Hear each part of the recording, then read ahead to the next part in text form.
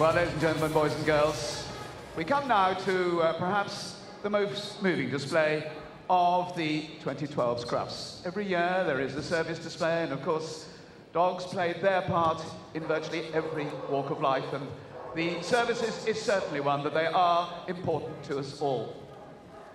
Our display this year comes from the RAF dog display, but of course we come off a week when the whole of our services in those theatres of war uh, around the world have really had a devastating blow.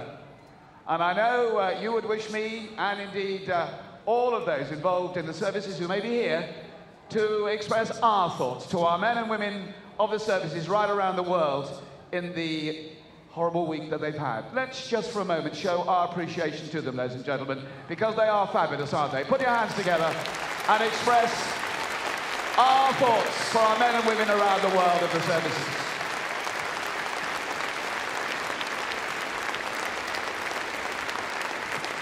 Well, it gives me uh, a great pleasure to welcome the fabulous RAF Dr. Team, and your commentator this afternoon is Flight Sergeant Arthur Sargent. Arthur. Wow, ladies and gentlemen, thank you very much once again to the Kennel Club for inviting us here again. This is our third year in the main arena, the biggest dog show in the world. We're really proud and privileged to be here today. While the boys and girls are setting up, just want to sort of mention what you're going to see today. Years ago, you'll probably see us all in white hats, blue uniform, doing sacking lines and fire jumps. Those days have they've not gone, but we're very much an operational force serving around the world. So we're going to show you what we are capable of delivering. But before I go on to that, there's something that's very important to all of us boys and girls here in uniform performing for you today. And that is when we're away in hot and sunny climates, working in very stressful conditions, it's the support we get from home that makes our job a lot more easier. So I'd like to take this opportunity on behalf of all the boys and girls here today, all the guys and girls back at our units, to thank you, the great, great British public, for all the support and help you give to us. Without it, our job would be a lot harder. So thank you very much indeed.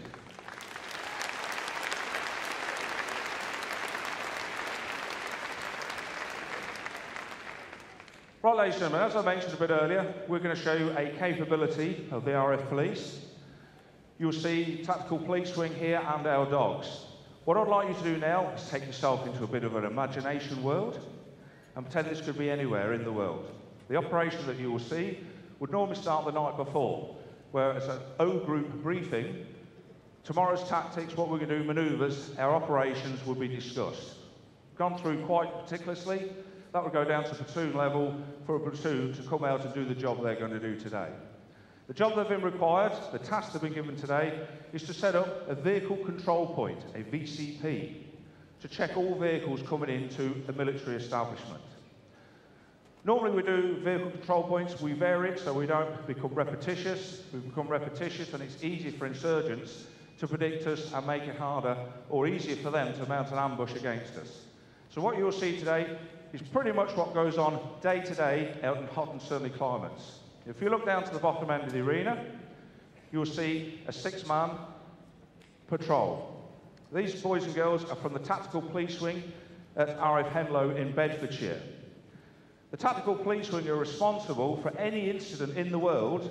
These boys and girls are the first ones that will go in. They will go in with special forces, they will set up an airhead, make it secure, and process safely passengers coming in and out of that area. So these, these boys and girls are extremely well trained. Not only are they policemen that can do investigations, arrest people for criminal offences, they're also basic infantrymen adopting infantry skills that will save their own lives and, more pertinently, the team. It is very much a team effort. As you can see them doing their patrol, they're looking through the, sat, the, the SUSAT sight on top of their rifle. They're not initially looking for enemy lurking around. Well, they are looking at, but the main thing they're looking for is ground awareness. They're looking at the ground to see if there's any hollows, any bumps, any combat indicator. A combat indicator is where a pressure plate could be or an IED, an improvised explosive device. The awareness of the team working for each other could make this safe coming in. Right, the team have made a safe location. They're now going to ground because they want to clear this VCP before they come in. The last thing we'll do is come straight into it and there's an IED waiting from a booby trap.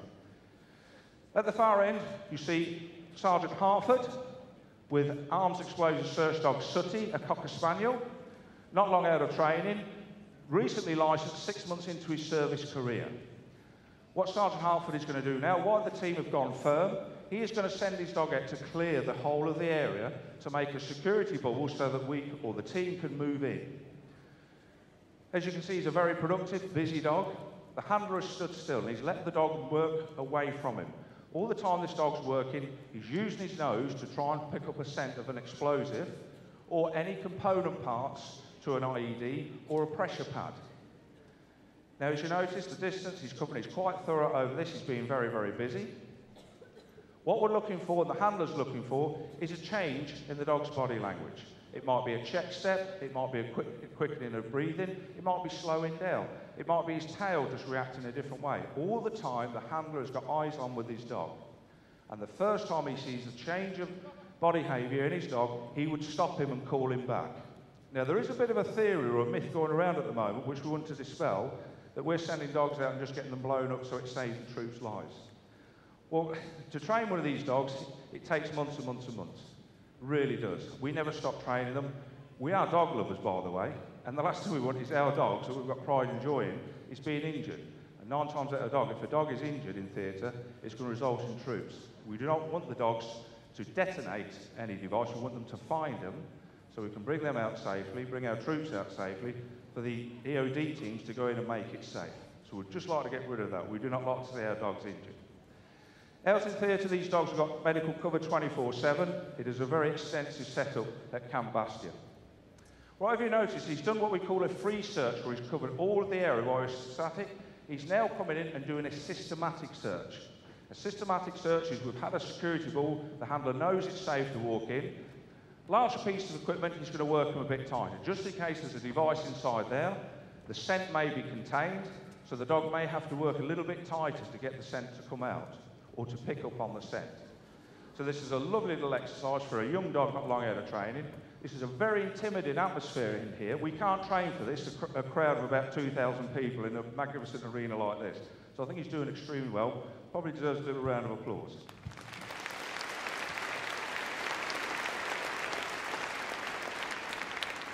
As you notice, the handler and team are meticulous. They've got to cover all of the ground. The last thing if we can't put the dog where the scent is, the dog can't tell us that there's something there. So individuals gone around all the items. The patrol has made, have gone firm, they've made a, a defensive posture. They're watching out, they're covering the dog handler as well because he's not carrying a weapon. The teamwork goes on, and this search is pretty much coming to an end now. The patrol commander at the end is now assessing how is he going to put his guys in here and then set up the vehicle control point. So all the time we're progressing slowly, but most importantly, safely as a team. Right, Sergeant Hartford has, Hartford has completed his search. Straight away, the dog handler goes next to one of the policemen, and he becomes the guard for, for the dog handler, the welfare of the dog handler.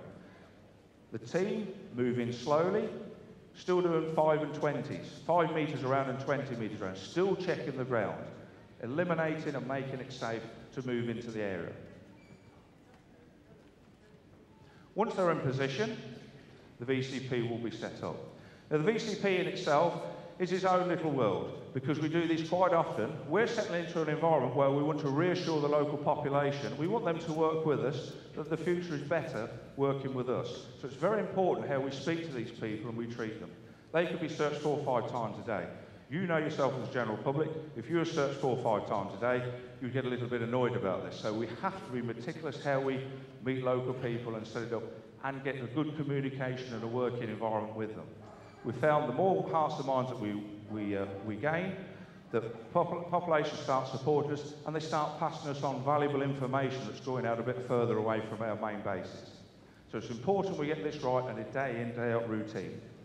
If you notice from all the patrol, the kit that they're carrying. They've got an helmet on, they've got Osprey body armour and a day sack.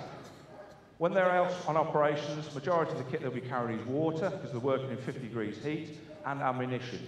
They could be carrying between 50 and up to 60 pound of kit out on an out, out on an eight-hour patrol, four days at a time, and then coming back in in 50 degrees heat. So it is quite difficult working conditions that they're in. Right, that's the VCP now set up. The commander's happy with that and he's ready for the first vehicle to come in. Obviously here we're working with a nice modern car. Out in theatres, we can be dealing with vehicles that are between 40 to 50 years old. There's doors hanging off, they've not got tight seals on them, um, no handbrakes, so it can be a bit of a hazard searching a vehicle because it can literally roll away while you're working on it. Well, as I mentioned here, the policeman is building a rapport with the locals. This guy's been checked four or five times. We go through the normal rigmarole that they get a bit fed up with it. So this is where it's important. As a policeman, we're able to communicate with people. So he's told we're just doing a routine sweep of the vehicle. The passengers are being taken away and taken to one side. We do this because this might be an opportunity for the driver to pass on information to us. If he's seen talking to coalition forces, that could be repercussions on him later on. So there's straight away you see many strings to the bow. Right, you see now Sergeant Halford is now coming up to carry out a vehicle search. He'll work the dog down low and he'll work him down high. He'll stick him in the grills and the creases of the car, all the time trying to see if there's a scent inside that vehicle for the dog to find it. We don't like as coalition forces being on the ground too long. If we're there too long, we can get an ambush. The beauty of having a dog with this, this dog should have searched this vehicle in possibly two minutes. If I was to get this to be searched by a team, I'd need four guys, would probably take an hour to do it thoroughly because IEDs can be placed in such a strategic place on a vehicle. So this is very time critical. The dog's a lot quicker. If we know there's something there, we can start dealing with it straight away. this dog is demonstrating a lovely search here. He's very meticulous and thorough. A little bit of a change in body language there. And then he's moved on to complete the search.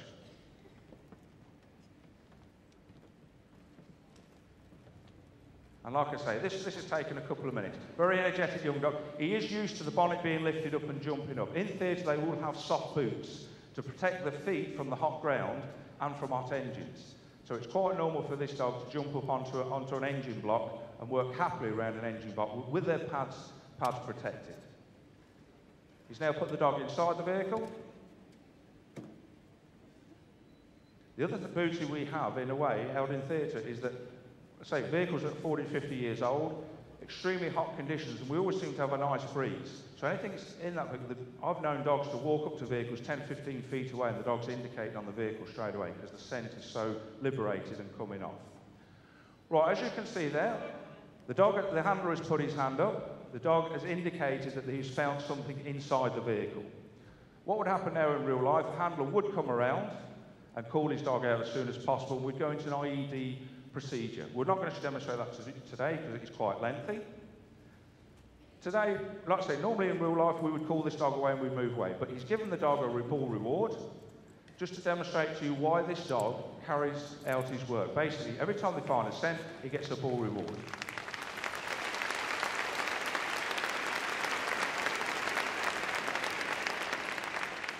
And basically, this is positive reinforcement, and that is why the dog does his job for us. And we just build up for a few seconds fine, a minute of fine, five minutes of fine, to, to where this dog can be working four or five hours before he gets a reward. And I think that was a lovely exercise. Right, the driver now, because they've found a weapon inside the vehicle, has now been arrested, will be handed over to the local police.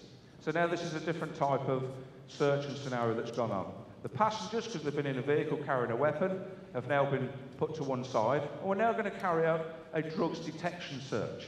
This is Corporal Neil Furness with drugs detection dog Luke.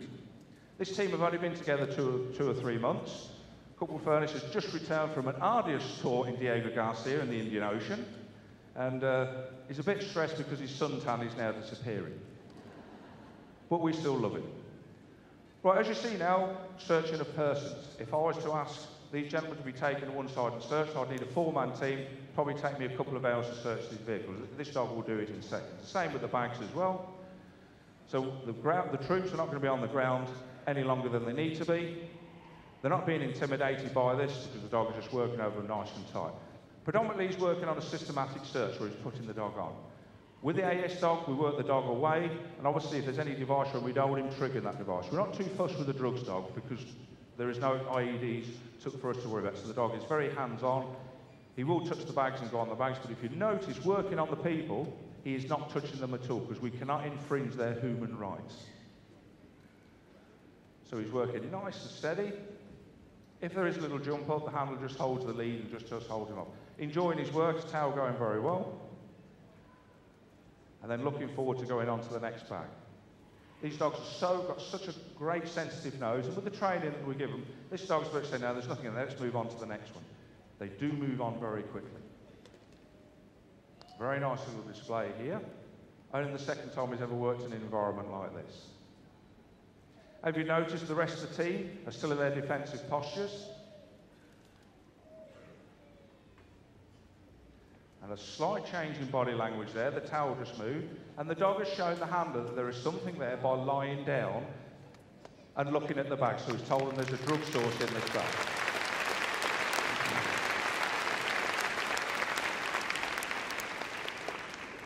What would happen is now the drugs have been removed from the bag, the dog has got his bull reward, and now these three people would now be arrested.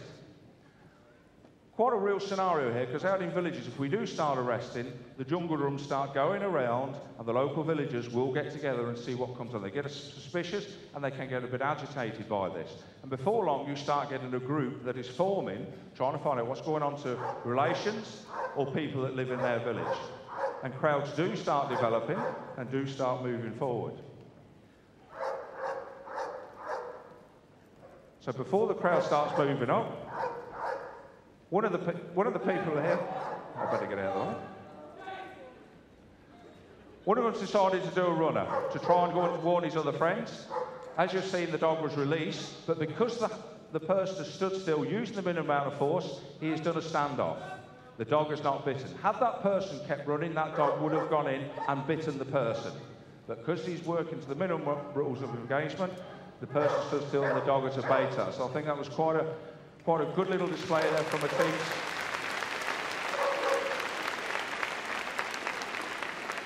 A nice little demonstration of control from Corporal Sam Plant and uh, military working dog Charlie. Sam performing in his hometown of Birmingham, and he is an Aston Villa supporter as well. Right, as I mentioned, we've had someone try to run away to warn the rest of the crowd and the rest of the village that something's going on. that word has gone around. The crowd are now getting very anti. Four of the members have been arrested. Dog has been set on them. Now we have a, a serious crowd control situation. The RAF police are trying to hold them back. Using the minimum of force, the dogs have been called forward to restore a crowd control here. The, the crowd owner to push the dogs back. Kudos to the military working dog is now pushing the crowd back. The crowd has developed a posture together, and now we have an intruder with a weapon. Belgian Malinois released and hits the road.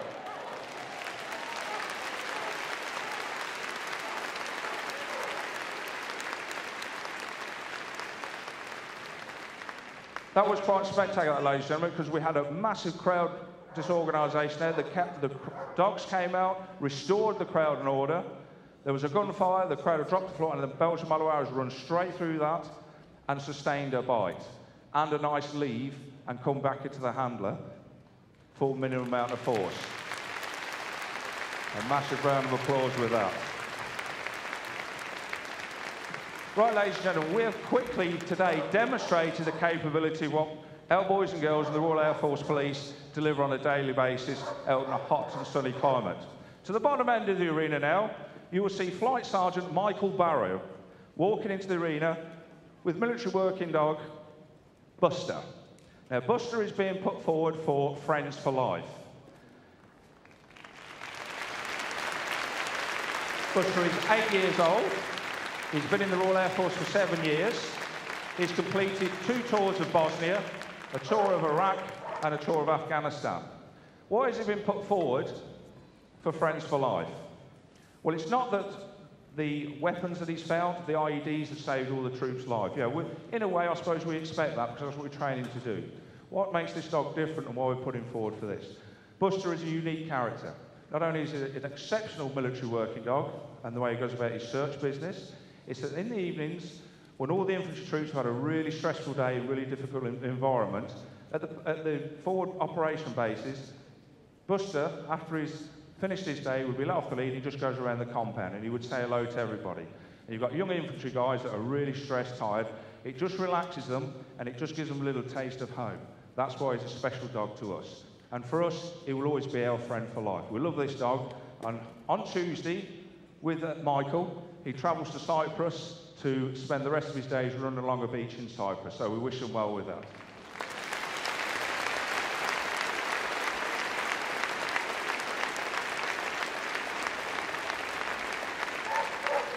Well, I will ask now uh, Flight Sergeant uh, John Brown, Provost Marshal's Dog Inspector, to march on to give the salute. But before he gives the salute, I'd like to bring your attention to Flight Lieutenant Michael Larkman, OBE, at the front. Michael has been in the Air Force 37 years. He's Officer Commanding Military Working Dogs, and he retires later this year after 37 years service. We'll thank him for that, and we wish him all the best in his retirement in his tax haven in Jersey.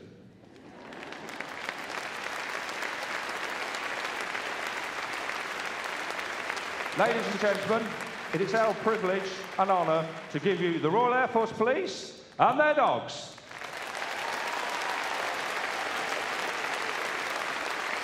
And this afternoon, ladies and gentlemen, on behalf of Crufts 2012, the salute been taken to by Professor Steve Dean, Chairman of the Kennel Club.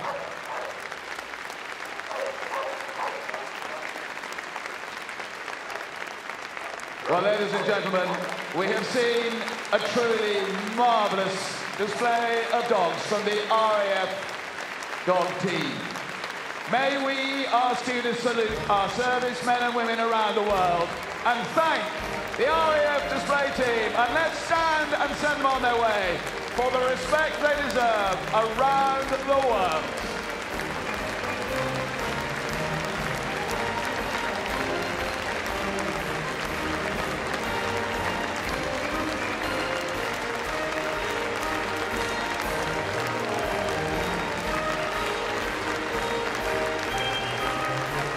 And a big thank you to, to the commentary from Flight Sergeant Arthur Sargents.